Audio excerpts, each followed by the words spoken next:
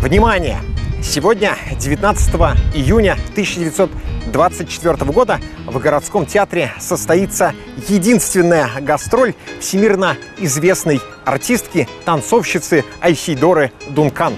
За роялем профессор Московской консерватории Марк Мейчик. Билеты можно приобрести в кассе театра с 11 до 2 и с 6 до 9 часов вечера. А супа с человеченкой не боитесь? Ну, какой я тебе товарищ? Венчаешь нас, что ли? Мне бы только смотреть на тебя, видеть глаз, златокарий, омут. И чтоб прошлое не любя, ты уйти не смогла к другому. Летом 1921 года газета «Коммуна» писала – известная представительница классического танца Айсидора Дункан приняла предложение товарища Красина отправиться в Москву и основать школу на тысячу детей. Из Парижа Дункан выйдет в первых числах июля. Вместе с ней отправятся в путь и некоторые ее ученицы. На вопрос о предстоящей работе в России Дункан сказала, что она счастлива думать, что ей предложили создать великую школу искусства, которая будет посвящена не только пляске, но и поэзии и выразительности. Из всех правительств мира только советы заинтересованы в воспитании детей – а значит, мое представление об общественной системе полностью соответствует тому, что удалось сделать в Новой России благодаря усилиям советского правительства. Моя школа, подчеркнула Айсидора Дункан, всегда была школой коммунистической – все мое состояние было отдано для этой единственной цели моей жизни. Если я обрету в России то, о чем так долго мечтала, это будет прекрасно. Я надеюсь найти в Советской России одаренных музыкантов и могучий энтузиазм. Когда же артистку спросили, не боится ли она суровости режима и физического голода, Дункан расхохоталась. Я Боюсь только духовного голода, который царит теперь во всем мире. А физический голод – ничто. Я свой выбор сделала. Я еду. И вот прошло три года. Три года жизни в той самой России, которую до сих пор еще так боятся на Западе. Три года каждодневного труда и танца. Танца такого же тяжелого, как труд, и труда, становящегося танцем – три года и тысячи открытий, сделанных великой танцовщицей в стране, где завтрашний день человечества уже стал сегодняшним днем. Все это смогут увидеть сегодня самарцы в городском театре на выступлении Айсидоры Дункан.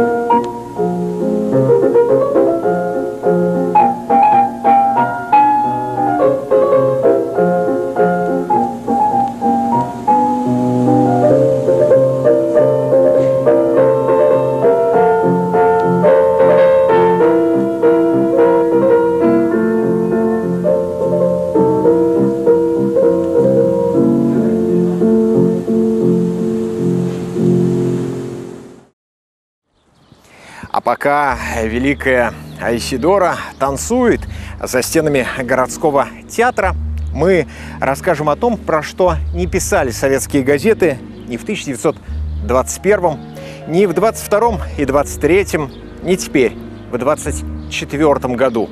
Старалась не думать об этом и сама Айсидора. Просто выбросить из головы все, что не имеет отношения к искусству будущего.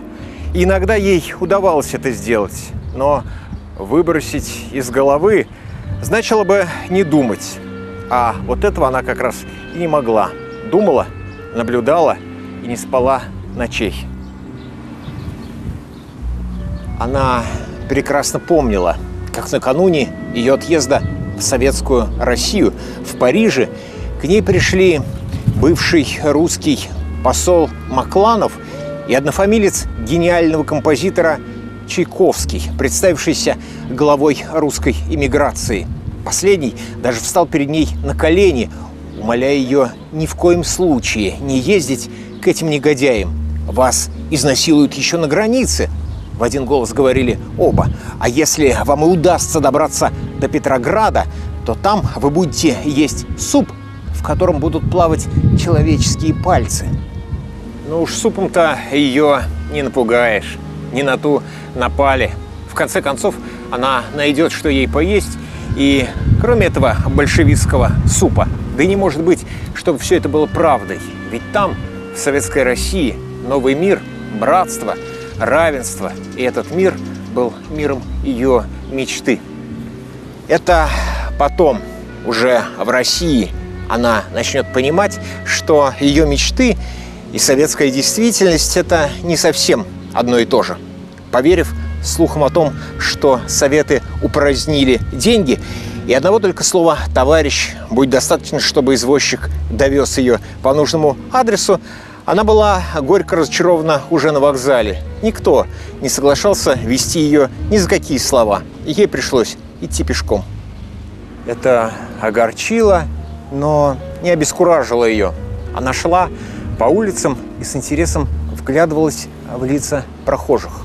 Был июль 21-го, люди были плохо одеты, спешили куда-то к своим делам, но в выражении глаз красноармейцев то и дело встречавшихся ей на улицах, она различала тот облик нового мира, навстречу которому так рвалась из мира холодного расчета.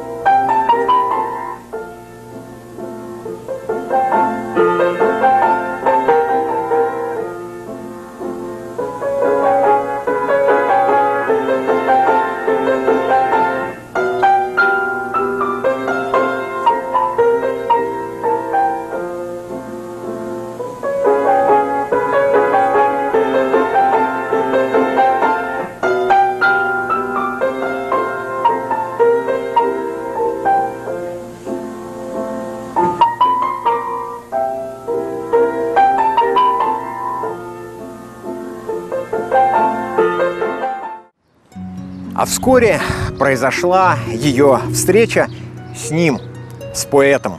Он ворвался в студию на Садовой с криками «Дункан! Где Дункан?» А уже через час его видели на коленях перед ней, полулежавшей на кушетке. Она гладила его по голове и повторяла, может быть, единственные русские слова, которые ей удалось запомнить. «Золотая голова, золотая голова. Его звали Сергей, Сергей Есенин, Есенин, как говорила она, Айсидора. Да, он не владел ни одним иностранным языком, а она не говорила по-русски. Но это не помешало им проговорить весь вечер до самого конца.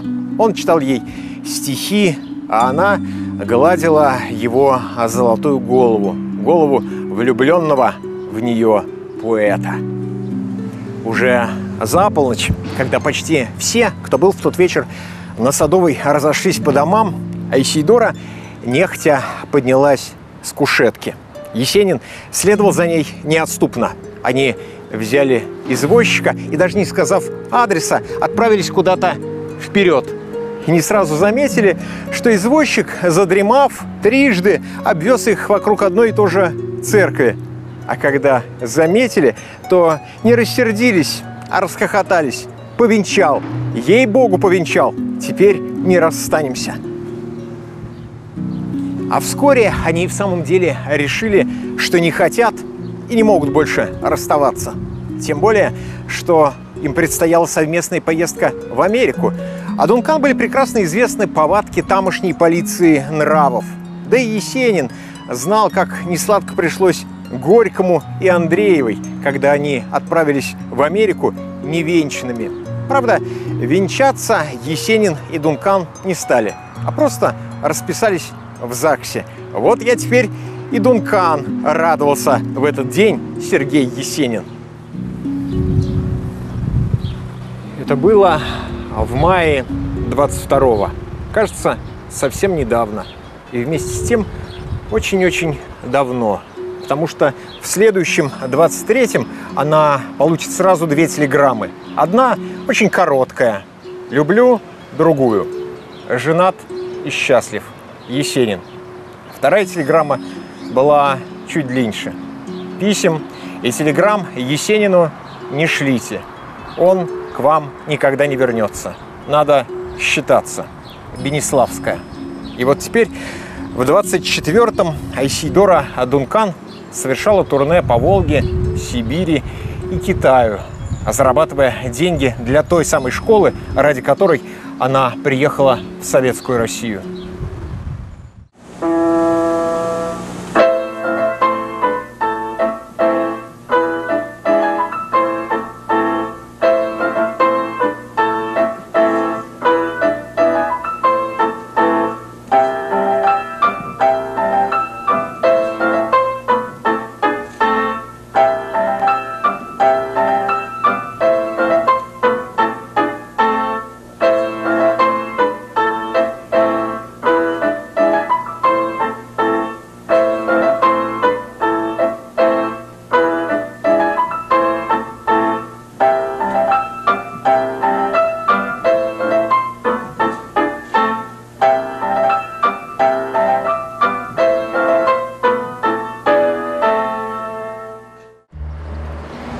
В июне 1924 года Самара жила своей жизнью.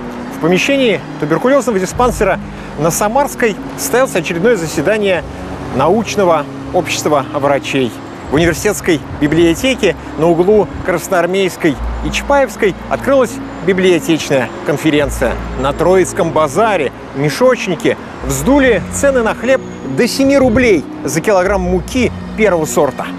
А в городском театре 19 июня состоялась единственная гастроль несравненной Изидоры, как еще совсем недавно называл ее Сергей Есенин. Тот самый нежный Есенин, который, если надо, мог сказать извозчику такое словцо, что тот гнал лошадей так, как будто бы хотел взмыть к облакам. Правда, ей взмывать к облакам хотелось теперь все меньше и меньше. Да и что ей там было делать? Танцевать с босыми ногами под интернационал? Кричать этим новым буржуа, что она красная? Бросаться из города в город в надежде вернуть его? Нет, ей там теперь было делать нечего. Да и здесь тоже. Известно, что Дункан уехала из России – совсем незадолго до гибели ее златокудрого Есенина. А когда узнала о его трагическом конце, то она сказала, я страдала из-за него так много, что он исчерпал все мои возможности страдать. А еще через пару лет не стало и ее. Ее жизнь оборвалась так же внезапно и трагически, как может оборваться только танец, если внезапно кончилась музыка. Это пела даже Шахразада. Так вторично скажет листьев иметь. Тех, которым ничего не надо. Можно только в мире пожалеть. С вами был Михаил Перепелкин.